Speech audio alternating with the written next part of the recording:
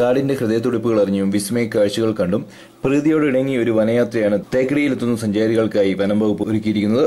വനം വകുപ്പിന്റെ eco tourism പദ്ധതിയുടെ ഭാഗമായി സഞ്ചാരികൾക്ക് പെരിയാർ വന്യജീവി സങ്കേതത്തിലൂടെ വനയാത്ര നടത്താം. ഇടുക്കി ജില്ലാ അതിർത്തിയിലെ വള്ളക്കടവ് മുതൽ പത്തനംതിട്ട ജില്ലയിലെ ഗവി വരെയാണ് ജംഗിൾ സഫാരി. ജീപ്പുകളിൽ ഗവി കാണാനെത്തുന്ന സഞ്ചാരികളുടെ എണ്ണം വർദ്ധിച്ചതോടെയാണ് വനം വകുപ്പ് ഇതുവഴി സഫാരി ബസ് സർവീസ് ഏർപ്പെടുത്തിയത്. വള്ളക്കടവ് ചെക്ക് പോസ്റ്റിൽ നിന്നും പുറപ്പെടുന്ന ബസ്സിൽ കയറിയാൽ കാടിന്റെ ഹരിതാഫ് നുറന്നും വന്യജീവികളെ അടുത്തു കണ്ടും യാത്ര ചെയ്യാൻ സാധിക്കും. ഇക്കോ ടൂറിസം പദ്ധതിയുടെ ഭാഗമായി കഴിഞ്ഞ വർഷം ഒന്നര വർഷം മുമ്പ് ആവിഷ്കരിച്ച ഒരു ടൂറിസം പ്രോഗ്രാമാണ് jungle safari Gavi jungle safari എന്നത്.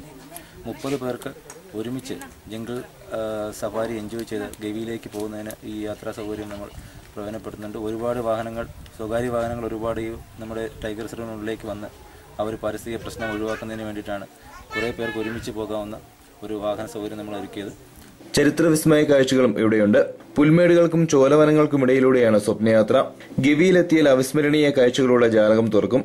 തടാകത്തിൽ ബോട്ടിങ്ങിനുള്ള സൗകര്യവുമുണ്ട്. ട്രക്കിങ്ങിന് പറ്റിയ ഇടം കൂടിയാണിത്. ഇവിടെ നിന്നും ഒരു കുന്ന് കയറിയാൽ ശബരിമല സന്നിധാനം പുൽമേടുകൾക്കും താഴ്വാരങ്ങൾക്കും ഇടയിലൂടെ കാണാൻ സാധിക്കും. കാഴ്ചയുടെ ഹരിത കവാടം തുറക്കുകയാണ് ഗവി. സഞ്ചാരികൾ ഏറ്റവും കൂടുതൽ ആകർഷിക്കുന്നത് ഈ അണക്കെട്ടും. അണക്കെട്ടിന്റെ തീരമേഖലയിലെ ഒട്ടേറെ കാഴ്ചകളുമാണ്.